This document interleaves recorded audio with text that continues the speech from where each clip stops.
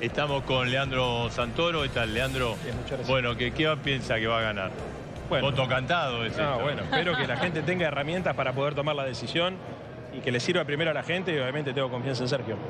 Bien. El debate de hoy tenemos que esperar eh, un Sergio Massa que vaya al choque con eh, Javier Milei, un Sergio Massa que presente más las propuestas, este Sergio Massa que venimos viendo en las últimas semanas de un tono No, no va a más ser un calmado, debate más... al choque, pero sí al hueso. Acá lo que hay que clarificar son los proyectos de país que están en disputa y hay que darle a la gente herramientas para que se pueda imaginar a quién le sienta mejor el traje de presidente de la nación.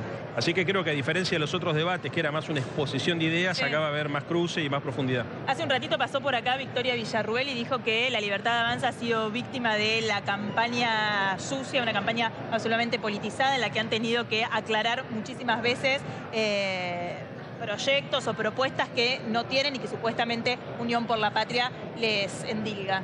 No, no, lo que han tenido que aclarar muchas veces son sus propias declaraciones.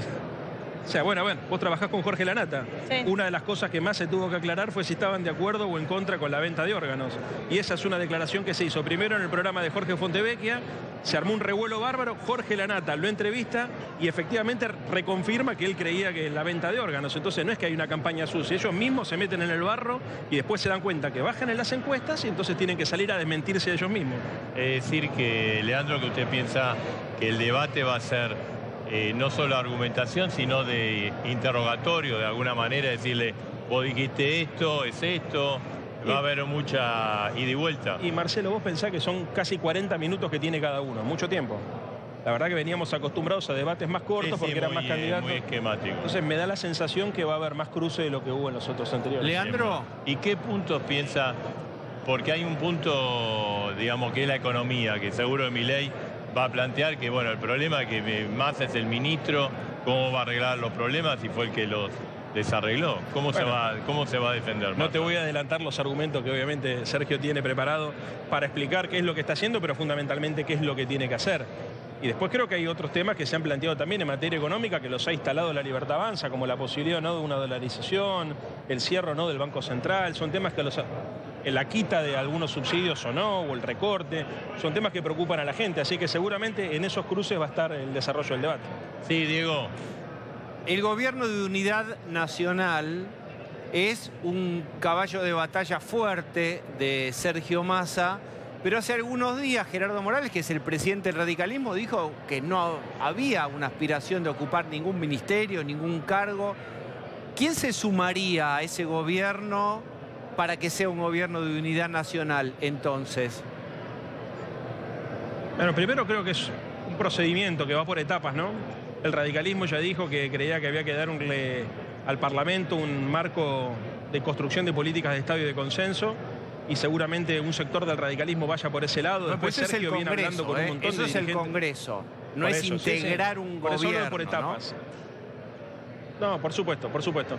A ver, eh, obviamente hay cartas que las va a tener que jugar Sergio, no soy yo quien tiene que anticipar ese tipo de cosas, pero él ya dijo, por ejemplo, que su ministro de Economía no va a ser de su propio partido político, ya advirtió que iba a haber opositores que estaban haciendo campaña en contra de él, incluso porque formaban parte de la orgánica de partidos que no integran Unión por la Patria, que también iban a ser parte de su gobierno.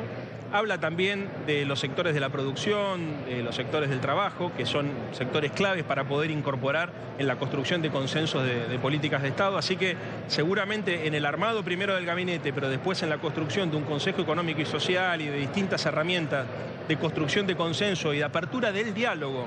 Porque esto es lo importante, ¿no? En la Argentina hoy hay dos modelos, el de los insultos, el de los gritos y las descalificaciones, o el del diálogo y la búsqueda del consenso. Por ahí creo que va a ir Sergio. O sea, o sea, usted, pero igual espera un, eh, por lo que dice Massa, uno se imagina que es un, un gobierno que va a tener un gabinete de figuras de distintos partidos. Sí. Si, si llega a ganar, ¿no? Sí, sí, claramente. Uno de los temas eh, centrales de la agenda pública de esta semana tiene que ver con la causa de espionaje ilegal que tiene a Sergio Massa, a Javier Milei y otro montón de personas como, sí, como víctimas, claro, pero también se da la particularidad de que los únicos imputados en la causa hasta ahora son dos eh, dirigentes del espacio político de Unión por la Patria, en particular del kirchnerismo, Tailade eh, y Rodríguez, Fabián Rodríguez.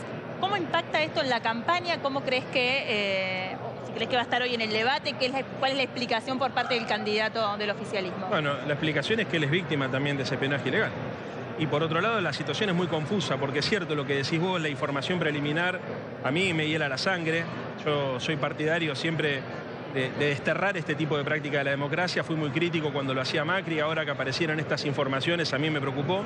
Lo cierto es que to todavía lo que tenemos ahora es bastante confuso, porque aparece investigado desde Javier Milei hasta Guado de Pedro o el jefe de la custodia de Cristina un día antes del atentado contra no, por Cristina. eso le marco esta particularidad, que si bien están todos espiados, quienes están imputados por tener relación con quien hacía ese espionaje ilegal, un ex policía de la Federal, sí, creo que tiene que dar explicaciones. Creo que claramente quienes están siendo investigados por la justicia tienen que dar explicaciones, sin duda.